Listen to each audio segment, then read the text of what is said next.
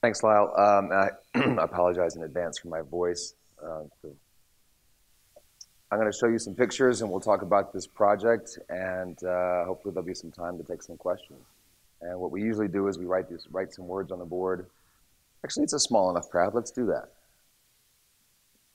What do you think of when you think of Africa? Okay. So this is a uh, this is a fairly typical list of the kinds of words that I see when when I ask this uh, this question. Um,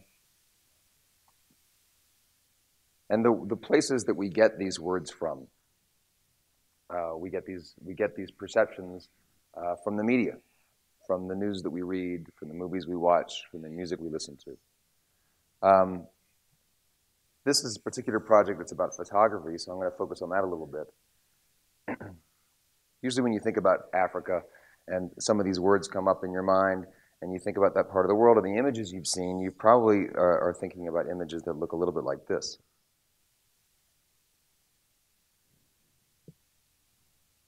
Or that.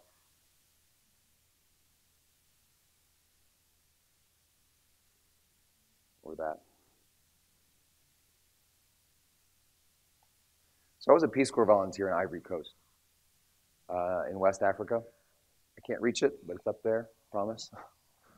Um, uh, I went to the Peace Corps in January of 1995. Uh, and so that means I basically spent all of 1994 making my application to the Peace Corps to become a Peace Corps volunteer. 1994 was a rather tumultuous year on the continent. Um, lots of things happened, but probably two things stick out. Um, in May, uh, April of 1994, there was the genocide in Rwanda. And in May of that year is when Nelson Mandela became president of South Africa. Um, so you have in one year, actually just a couple of months, sort of the worst possible thing imaginable and something rather amazing happening. Um, I spent a lot of time that year because I knew the Peace Corps was coming, watching the news, trying to learn about other parts of the world, I saw these images in the news all that year, and that informed my uh, perception of what life was like in that part of the world.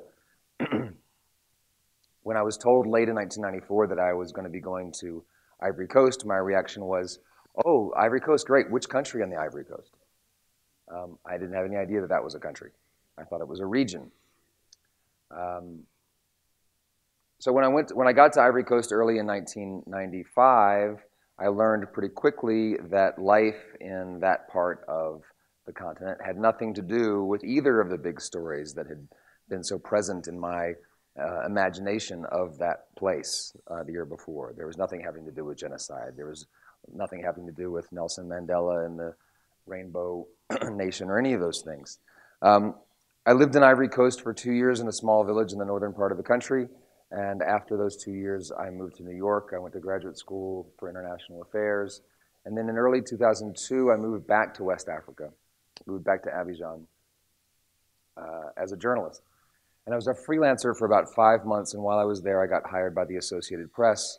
And I worked for the Associated Press in Ivory Coast, covering West Africa.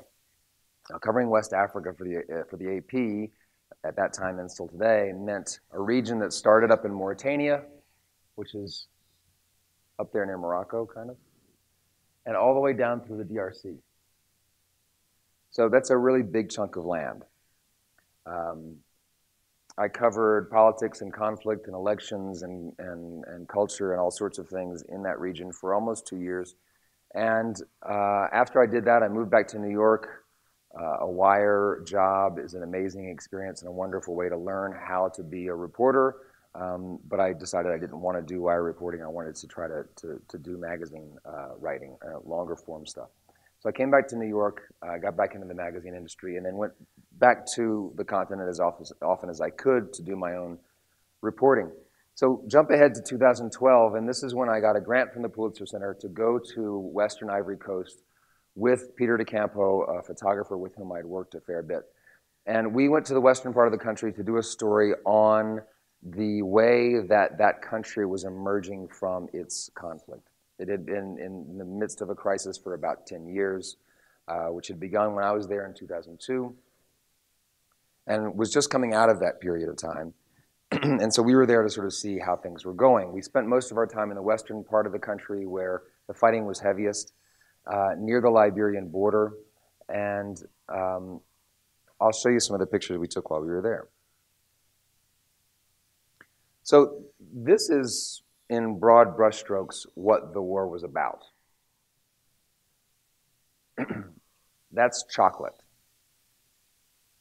And that's pure chocolate. So that is when you have a cocoa pod and you break open the cocoa pod and spread the beans out on the ground to dry, and then you ferment them, and then you process them and crush them and cook them, and you come up with a, a kind of a paste.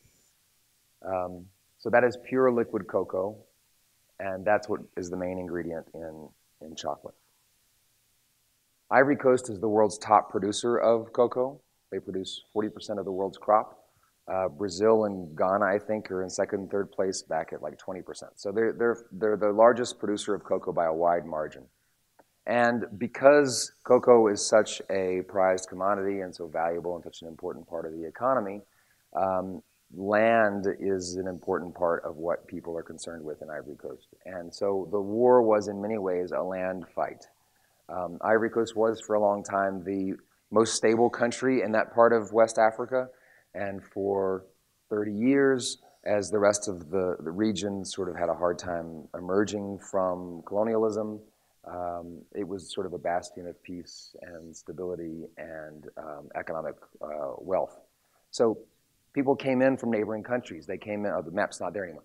Um, people came in from neighboring countries. They came in from Guinea and from Liberia and from Ghana and from Burkina Faso and from Mali, and they came in to work the land. Uh, the president of Ivory Coast, the first president of Ivory Coast, Felix Houphouët-Boigny, uh, had a famous saying where he, he basically advertised to the region, uh, come, uh, it, the land belongs to he who works it. So basically an open invitation to anyone in the region who wants to come here and work the land and you may have that land and prosper from it. And so because of that, lots of people came into the country and they got along quite well for a long time until eventually those folks began to become well off in a way that some of the locals were not. Um, the economy took a dive uh, at, at, a couple of different times. And so eventually you ended up having a lot of disagreement over the ownership of, of uh, those cocoa plantations. And that had a lot to do with why the war uh, was being fought. So that is a, a, a photograph of um, pure cocoa in a cocoa plant in the western part of the country. Uh, this is another photograph of that facility. And this is a, uh, at the port in San Pedro, um, several pallets of cocoa beans getting ready to be shipped off to the west. And some of the guys in the cocoa processing plant, plant who um, were talking with us during, um, while we were there. we were there to, to, to talk about this conflict. And so we went around Western Ivory Coast and we took pictures of the kinds of things you would imagine a journalist in that position would take pictures of, and we interviewed those people as well. So we went to a displaced persons camp in the western part of the country, which was set up by UNHCR. And we spoke with people in this village that had been destroyed uh, in fighting that happened about two weeks before we arrived. And we spoke with this woman and a couple of others. Uh, she had been raped by soldiers during the fighting. And we went to the border with Liberia, and we had meant to go into Liberia and try to visit some of the Ivorians living, living in the refugee camps in uh, eastern Liberia. But instead, we stopped at the border and we met a, a, convoy of refugees coming home. And we followed them home, and they were going home for the first time uh, in a year. And when they got home, there was frequently a lot of rejoicing, uh, people that had not seen each other in a year or more. But then they would go to their homes for the first time and frequently discovered they had been torn down or destroyed in the fighting. These are traditional hunters in the western part of the country who had been conscripted into militias and a uh, home that had been burned down. This was an important story and a story that we were very committed to uh, writing about and photographing. And it was an underreported story. It's a part of the world that doesn't get a whole lot of attention. So we were very committed to trying to get this story out there. And yet, while we were there doing this work, we each experienced a, a high level of frustration that we were basically uh, contributing to um, a stereotype of that part of the world. I had lived in Ivory Coast for two years as a Peace Corps volunteer, for two years as a reporter at the AP, and then had been back there many times. Peter had been a Peace Corps volunteer in Ghana, and had lived in Ghana for about three or four years after that, and had traveled through much of West Africa as well. And we knew that life wasn't really like this all the time. And we were frustrated that there was no way to sort of tell that story. So while we were doing our reporting on the story, we began to take some other pictures, the two of us together.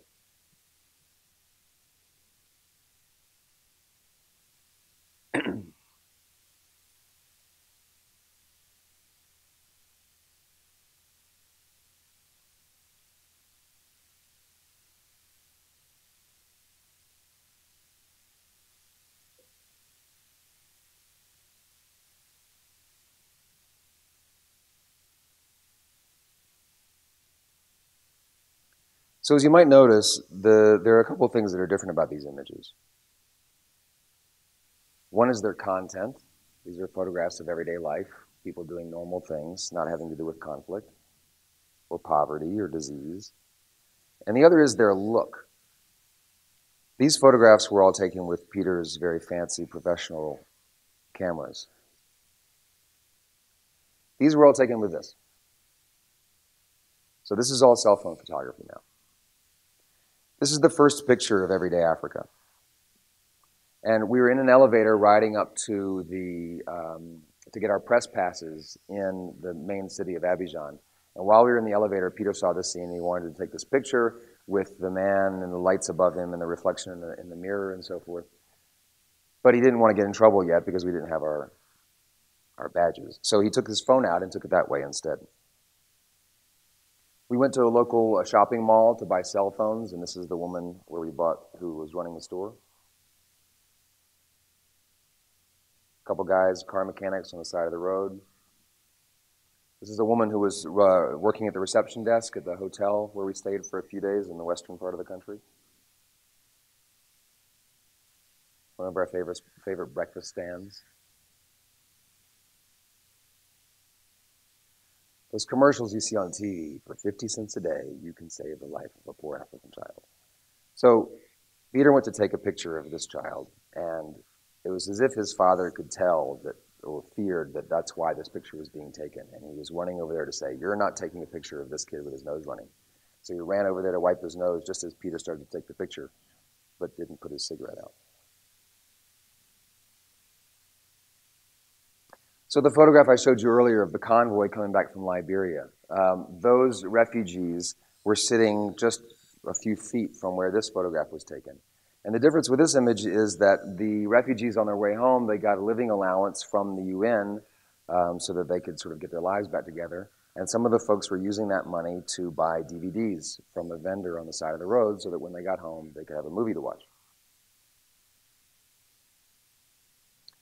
And this guy was in a village uh, that we spent a lot of time in. There was a lot of fighting. That road behind him divided the village. The village was called Niambli between uh, the northern side, which is where the locals lived, and the southern side, which is where uh, uh foreigners, people who were not from uh, that part of, not necessarily foreigners to the country, but foreigners to that region, um, lived.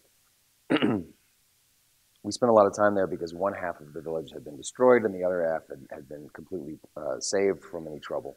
And so we were talking to a lot of the people about why that was true and what had happened and the ethnic differences and so forth. This guy wanders up and he's from the village, and so we wanted to ask him these questions too. But he doesn't live in the village anymore. He lives in Abidjan. And all he wanted to talk about was the music scene and the nightclubs he goes to and the, his uh, favorite uh, artists and so forth. So he was interesting in that regard for Everyday Africa. And also, I live in Brooklyn, and this guy could be my neighbor. I mean, he's got that urban hipster thing very much down with the t shirt that's a little bit too small for you, etc. And so we started Everyday Africa. Everyday Africa at first was simply a Tumblr blog and a Facebook page for the two of us to share images with one another. Uh, soon after that Ivory Coast trip in uh, March of 2012, uh, uh, Peter got an assignment to go to Uganda for a few weeks. I got an assignment to go to Nigeria and Zambia and Zimbabwe. And while we were in those countries, we continued to take pictures. We were able to, to share those images with each other. And soon other friends and colleagues got in touch who wanted to also use this outlet to be able to tell the stories they were seeing. They had the same frustrations that we did, that, the, that their work was contributing to the stereotype that Africa is nothing but a place of these things. So that's how Everyday, Everyday Africa began. Um, soon we had about a dozen photographers, and we were um, representing more and more of the, of the continent. Um, today we have about, there are about 35 photographers who have contributed to the project, and there are about a dozen right now who are active. And of those dozen, probably eight or, eight or so are African photographers, and we've moved more into a, um, a managerial uh, kind of role. Um, so the word exercise that we started off with, we have done classroom talks with, mostly with high school students, but some at the university level, um, in, largely in Chicago, in New York City, and in Washington, D.C. So last year we saw more than 2,000 students, and we, and we usually start with this word exercise to try to see what people's perceptions are. And you know, you can see the kind of list that we had tonight.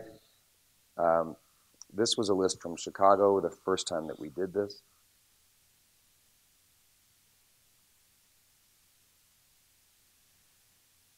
And this was a list from this afternoon in one of the classes here.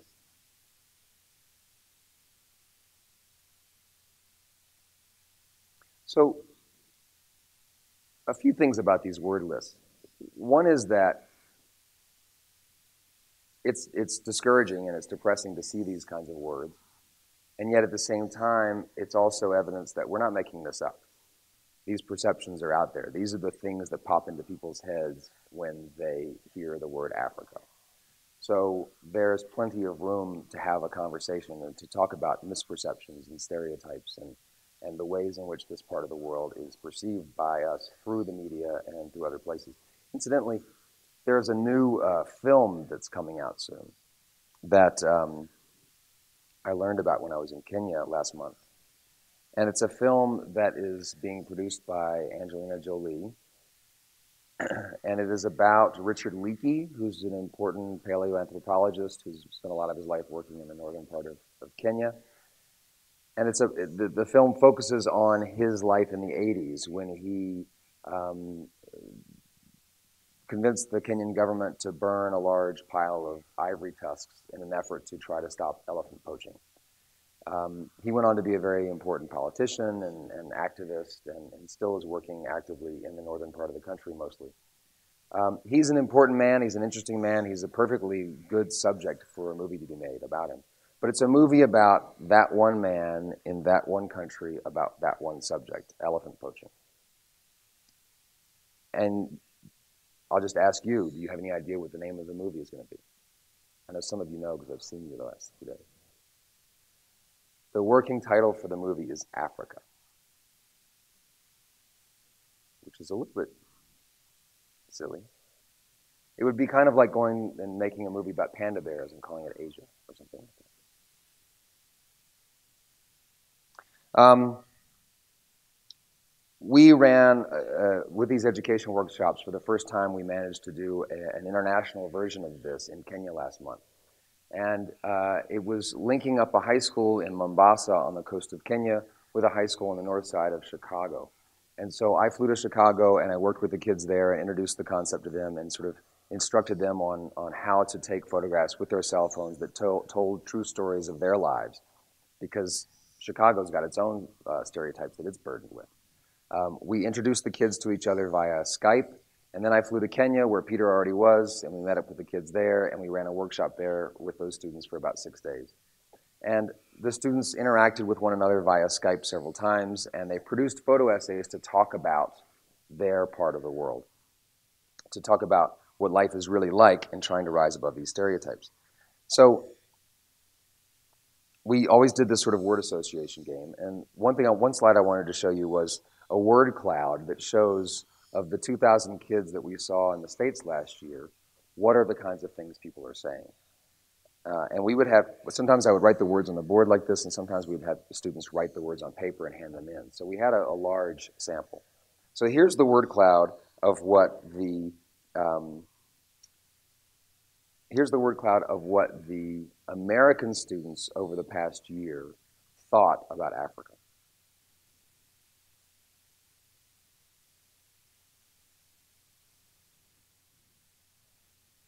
There's a couple of things in there that are, that are maybe a little bit hard to see. but so you have Ebola very big, but you also, in addition to Ebola, have disease and malaria and HIV. So it's not just Ebola. Um, also, interestingly, AIDS is very small. It's hiding there underneath the A in Ebola. But it's a list that looks a whole lot like this list. Then we asked the kids in Mombasa to give us lists of words about what they thought of their own continent. And this is what they said.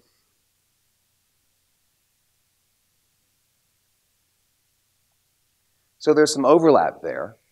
You know, there are some similar words in a, in a few places, but the context is entirely different. You see poverty in both places. You see wildlife in both places.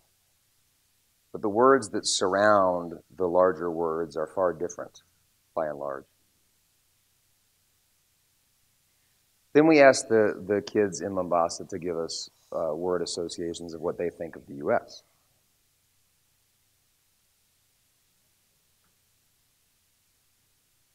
don't know if you can see, but right underneath developed is the word Kardashian. And I also thought it was interesting that up there above New York is the word Russia.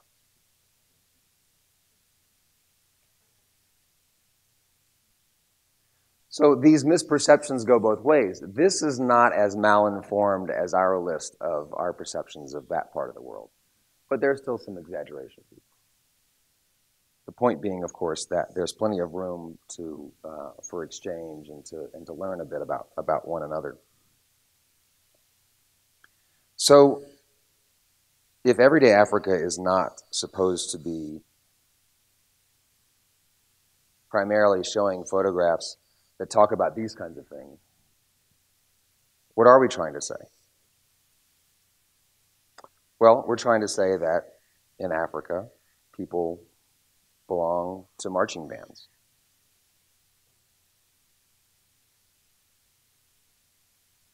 And they go to work in scientific labs. And they rollerblade.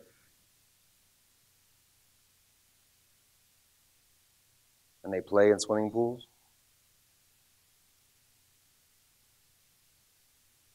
And get married?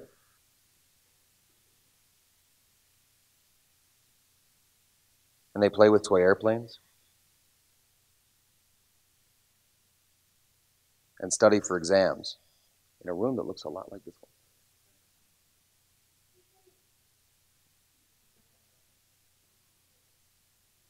And they go to football games? soccer. They care about fashion. And they go to the beach.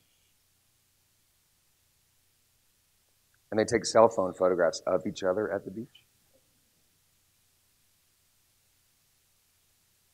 And they make paintings. And go to concerts. and get their pictures taken for the yearbook. And they go to nightclubs and play golf and vote in elections. And they do laundry and play polo. And they celebrate one year wedding anniversaries. and they audition for movies and go fishing. And they stare at solar eclipses. And I think any of those photographs could have been taken pretty much anywhere. So we're not trying to say that bad things don't happen. It's about context. One of the nice things about Instagram is there's a stream of photography. So in the stream of photography, you can see a picture of something, uh, of a kid in a slum, for example, but next to that photograph will be a photograph like one of these. And so you have some context that gives you a better and deeper understanding of what life is really like in that part of the world. So we do have pictures like a child as a refugee in a camp in Congo, where a man has been persecuted against for being gay in Uganda. We're a community that's suffering from Ebola. We're a farming family that's having a hard time getting by in the DRC. But again, as I said, it's about context. You know, this is the only photo that you see in the news. You don't see the other photographs.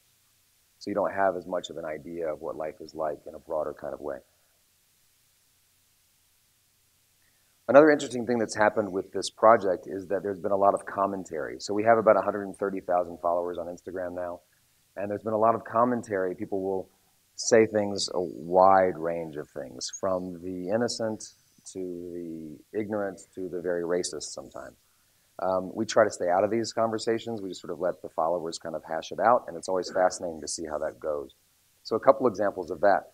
This is a photograph of a girl reading a book, waiting for a bus in uh, Abidjan in Ivory Coast. And someone leaves a comment, would you do such a picture of a French girl? What's so astonishing about a girl reading a book in Ivory Coast? And another, another person responds, I'm not sure where your outrage comes from. It wasn't presented as astonishing that she was reading. It's simply a photo of everyday life in Ivory Coast, much like the rest in this series.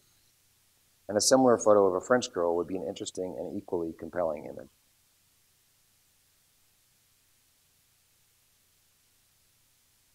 This is a picture of a girl taking a bath in Ghana. And someone left the remark, it's a beautiful picture, but a sad context.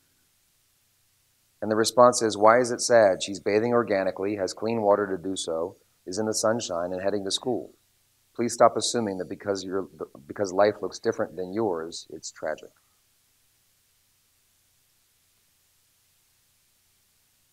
The, um, the everyday Africa feed sort of sparked something that we had not really anticipated. It became a bit of a, it's become a bit of a phenomenon across Instagram, and there are numerous other everyday projects now. About a year and a half ago, we noticed Everyday Asia. And these are all feeds that are sort of trying to do the same kind of thing. They're using cell phone photography, usually cell phone photography, to talk about um, tell stories about what life is really like in these parts of the world. Everyday Bronx was begun by us. We ran a workshop in the Bronx with some middle school kids. And at the end of that project, we used the photographs they had taken to start this uh, feed. And now it's being run by a collective of professional photographers in the southern part of the Bronx. And so they are now sort of managing that operation, taking the pictures, and also working with students in that community. Everyday Latin America started just about eight months ago. Everyday Middle East. Everyday Iran is one of the more interesting ones. So a lot of these feeds work the way that Everyday Africa does, which means that we have a list of contributing photographers, and those folks are they have the login information to the Instagram feed, and they can go online and they can post an image whenever they feel like they've got one that makes sense for the project. Everyday Iran is different. They're, this is a, a, group of three or four um, curators, and they are looking on Instagram using hashtags. So people who have hashtagged their work Everyday Iran, and that's how they choose their photographs to go onto the feed. And it's really a, a, an absolutely fascinating uh, look at that part of the world. It's not just uh, regional or geographic um, projects. There are also issue-based projects. Everyday Incarceration uh, started just a couple of months ago, which is an attempt to look at the prison culture of this country and not only to talk about what life is like in prisons and for people who are incarcerated, but also what that experience has done, or that event has done to their families back home. And Everyday Climate Change was started by James Whitlow Delano, who spoke here last year, right? who spoke here last year.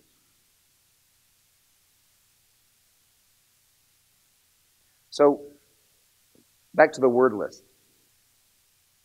When I do this exercise sometimes with high school students, and it's just a, a few minutes in class or you know, half an hour or an hour long workshop where we go outside and take some pictures and do some things like this. And we start with this sort of word association game. Even just after that one hour, uh, frequently you'll find that people are changing their minds already about how they, they perceive life in Africa. So that first picture I showed you, hunger, poverty, bad, no water, war, dry giraffe. After just an hour, they already were coming up with a new list of words. Growth, familiar, strong, interesting, innovative, original. So one of our hopes here is that the edu- we're starting a nonprofit, and we're starting a nonprofit called the Everyday Projects. And the Everyday Projects will be sort of an umbrella organization that provides assistance to all these other feeds as, uh, as necessary and, and, and as possible. Uh, we'll do some fundraising and have all kinds of different uh, ways of trying to get the word out about that. Um, but the, the element of this that we're most dedicated to is the education aspect. Um, the getting to do talks like this is, is a fantastic experience, and I'm glad to be able to get the word out. Uh, but when you're talking usually with, with students in high school, it seems to have even more impact because these impressions of this part of the world start at an early age. And so if we can get out into these classrooms and get these students to go out and use their cell phones, you know, it's an everyday device to take everyday pictures of everyday life and share them with the world, then I think it's a sort of a start toward uh, helping change misperceptions of not just Africa, but also of um, these other countries, these other regions, and the town in which you live. Uh, this summer, uh, Professor Olson is going to have a class called Everyday South Dakota. Um, and you can go out and you can take part in that and you can take photographs of this community here and tell true stories about what life is like here and tell people like me who live in New York City what life is really like in South Dakota. So our feeling is that through this project, there really is a lot of uh, possibility and the overarching Instagram feed for all of it is Everyday Everywhere. and through Everyday Everywhere, we're able to not only show the highlights of the everyday photographs from all of the everyday projects, but also uh, have used this as an opportunity to share photography by anyone who's using that hashtag as a way of getting anyone who wants to participate involved. So if you take a picture down the street and you, it's a good photograph and it's telling an interesting story of someone's life here in Brookings, and you hashtag it every day, everywhere, it will be seen by the curators and possibly included uh, in this feed. So that's our hope, and um, Thanks a lot for having me.